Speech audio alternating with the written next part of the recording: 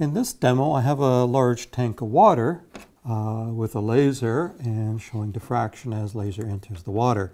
Uh, laser is not that visible in the water itself. I can see it in the bottom here.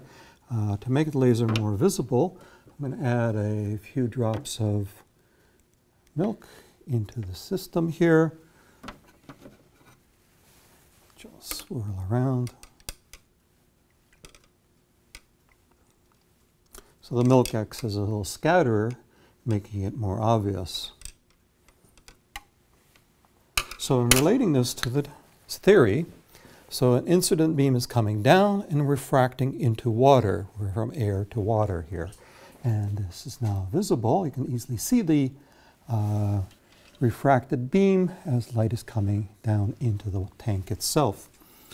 I can also show uh, the light reflecting off the surface of the tank. So there's this beam. So uh, shaky there. That's coming from the surface of the tank. And this is the beam that's hitting the surface of the water on this here. So uh, light is refracting into the water and dispersing out at the bottom here. In this demo, I'm going to show a little bit of refraction in water. I have here a laser, and I've added an optical element at the end of this to disperse the light in a vertical direction. Uh, if I shine the laser, then you can actually see it traverse along the uh, paper here. This is the beam first in the vertical. So here I have a petri dish. I'm just going to add a little water to this here. And what becomes apparent when you shine a laser into the water is that you still can't see the beam in the water itself. I can see the beam on the, on the paper, but once it's in the water, it's very hard to dis distinguish the beam. So I'm just going to add a little bit of uh, dispersing agent, which is just a drop of milk into the water. And that makes the beam now quite visible on this here. So with this, um, you can see I have the incident beam, reflected beam, and then refracted beam going into the water.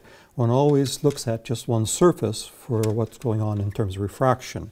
And as I increase the incident beam, this is the angle away from the normal, you see that the refracted beam also becomes fracted uh, away from the normal.